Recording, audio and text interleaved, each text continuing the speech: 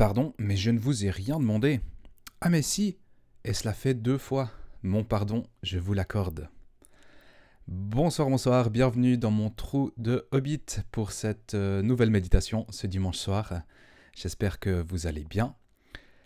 On avance gentiment dans l'échange entre Bilbo et Gandalf, on est presque au bout. On en aura encore, euh, j'ai encore une chose à dire lors de la prochaine méditation, mais on avance et ensuite on passera à la suite. Euh, avec l'arrivée des nains chez Bilbo. Gandalf vient de se présenter à Bilbo et il lui dit qu'il va lui donner ce que Bilbo lui a demandé. Et Bilbo lui répond Pardon, mais je ne vous ai rien demandé. Et Gandalf lui dit Ah, mais si, et cela fait deux fois maintenant, mon pardon, je vous l'accorde. L'aventure de Bilbo commence avec un Gandalf qui joue avec les mots. D'abord, vous vous en souvenez certainement, Bilbo lui dit bonjour, et Gandalf, au lieu de répondre comme euh, toute personne euh, normale le ferait en disant bonjour, dit hum, Qu'est-ce que vous voulez dire par là? Est-ce que vous êtes en train de me dire que le jour est bon? Est-ce que vous êtes en train de me souhaiter une bonne journée? Il commence à, jouer avec les mots, et puis maintenant avec ce mot pardon. Bilbo l'utilise comme une formule de politesse Pardon, je vous ai rien demandé. Et Gandalf répond sur un registre plus profond et sérieux. Alors, est-ce qu'il y a ici plus qu'une plaisanterie, qu'un jeu sur les mots? Est-ce que pour Gandalf, l'aventure est un prolongement lié à ce pardon qu'il lui accorde au début? Parce que Gandalf lui répond Mon pardon, je vous l'accorde, et en fait, j'irai jusqu'à vous envoyer dans cette aventure.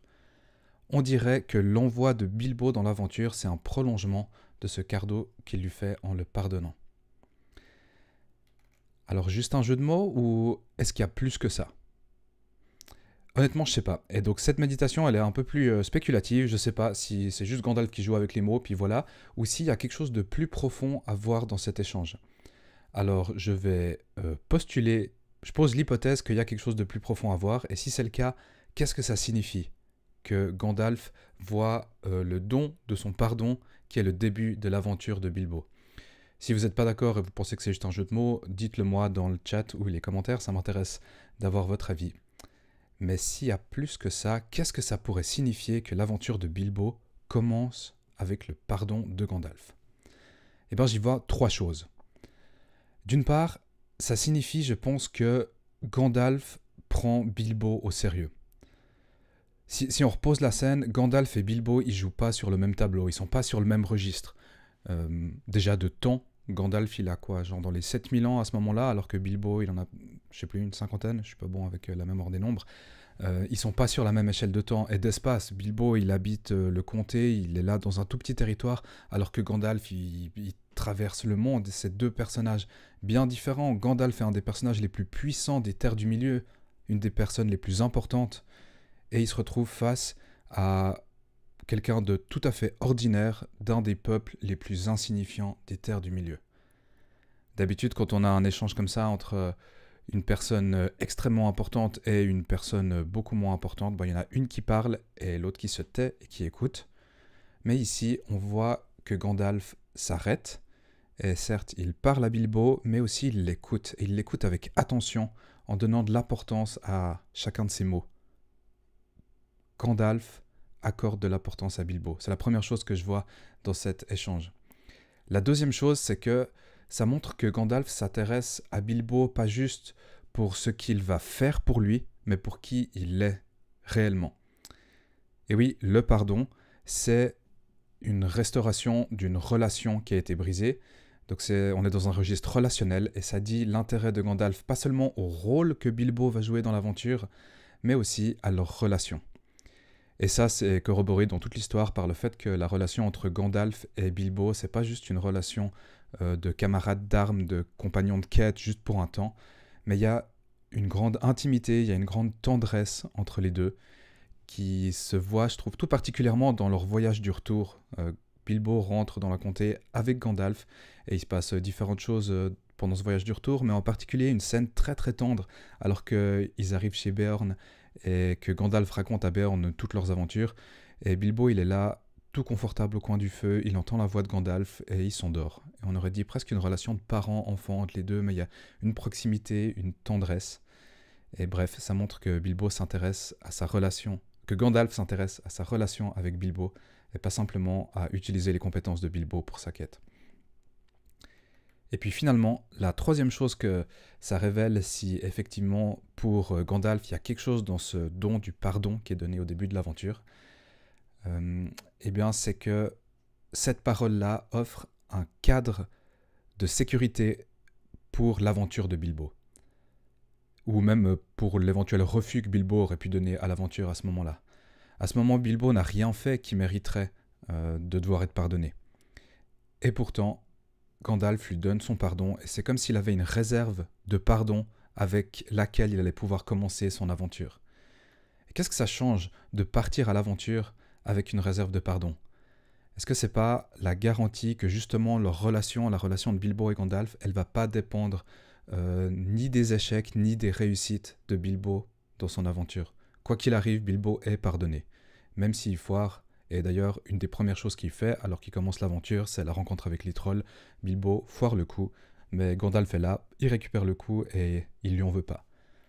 Bilbo peut partir avec confiance et pas chercher à mériter l'affection de Gandalf par ses actions, mais au contraire laisser cette affection transformer et encourager ses actions. Bref, Gandalf offre à Bilbo une relation d'amitié inconditionnelle qui va le porter dans toute son aventure et qui va le sécuriser. Alors pour résumer, Gandalf s'intéresse à Bilbo pour qui il est, il s'intéresse à leur relation, et ça, c'est le fondement de la sécurité dont a besoin Bilbo pour partir vers l'inconnu terrifiant de cette aventure.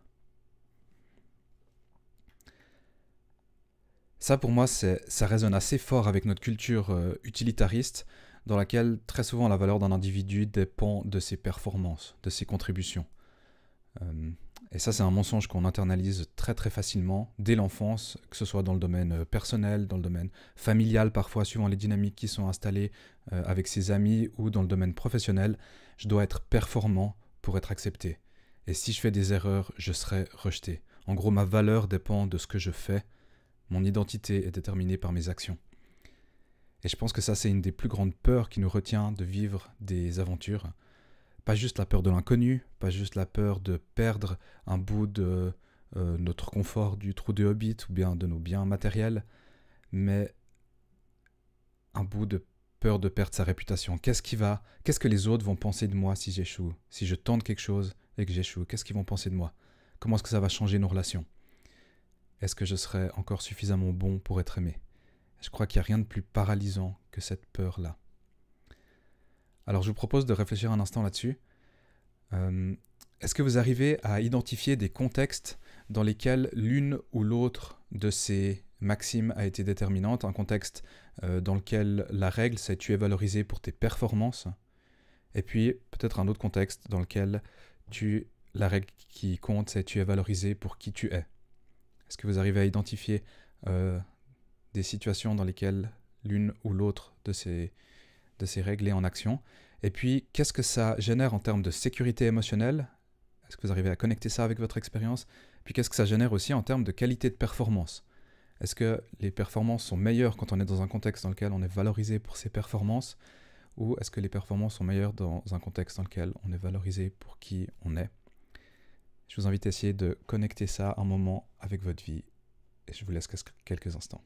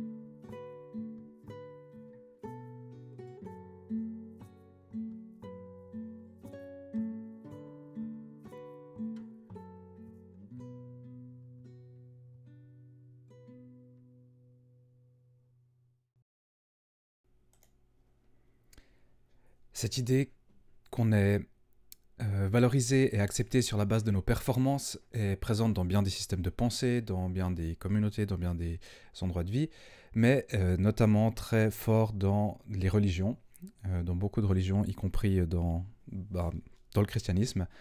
On doit être performant pour être accepté et aimé par Dieu. On doit faire des bonnes actions, on doit faire des sacrifices, sinon Dieu nous rejette.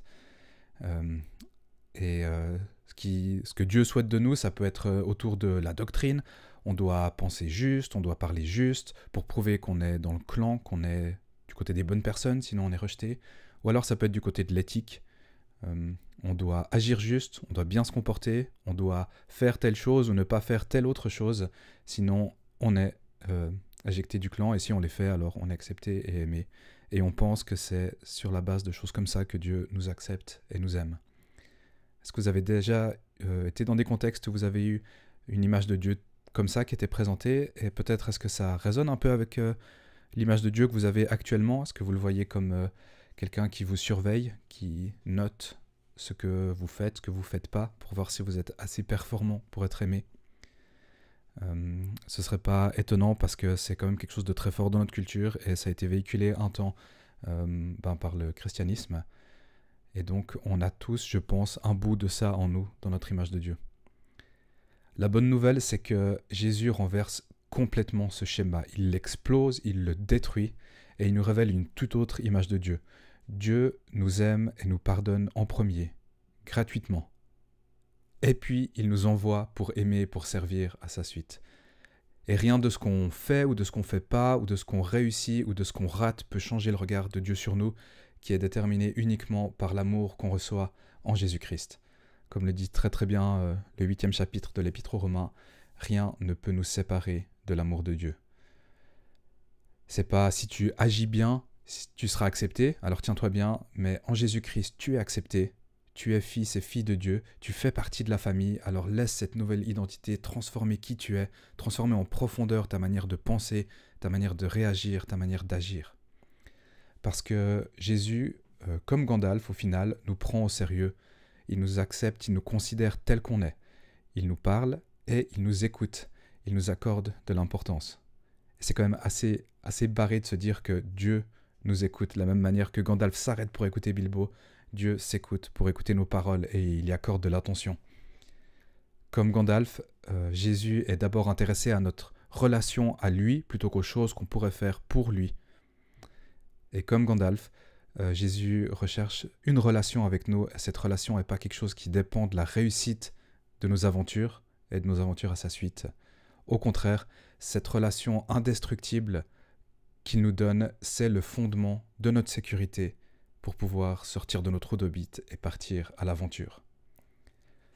Comme le dit Jésus, je ne vous appelle pas serviteur, mais ami. Je ne vous appelle pas serviteur, mais ami. Et je vous propose de finir en priant, puisqu'on a parlé du fait que Dieu nous écoute et écoute nos paroles. Alors Seigneur, merci de nous écouter. Merci de nous accorder de l'importance de prêter attention à nos paroles et à qui nous sommes. Tu vois les marques qu'on porte en nous, qu'on porte euh, d'avoir été dans des endroits où on a été euh, maltraité, où on a été considéré sur la base non pas de qui nous sommes, mais sur la base de nos performances, valorisé ou rejeté à cause de nos performances.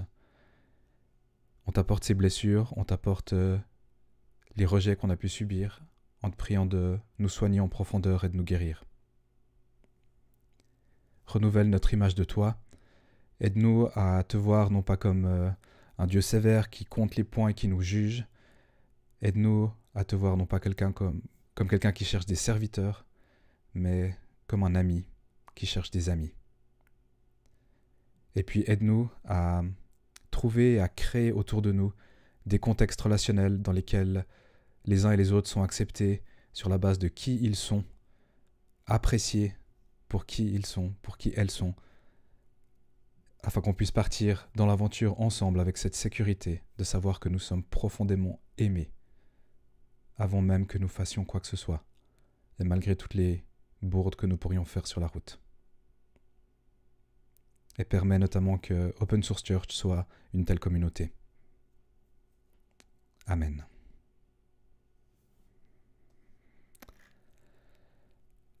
Voilà pour ce soir. Cette semaine sur Twitch, euh, mercredi à 21h, revue de presse avec Benoît, toujours autour de l'écologie, du christianisme et du gaming.